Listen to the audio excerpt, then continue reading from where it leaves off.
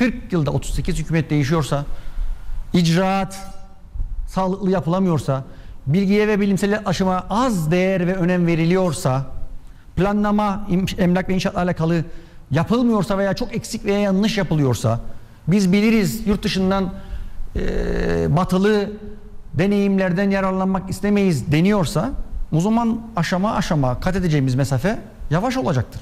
Nitekim öyle oluyor. Yani bizim yatırım iklimimiz ticaret odamızın yaptığı çalışmalara göre 130. 140. sıradayız.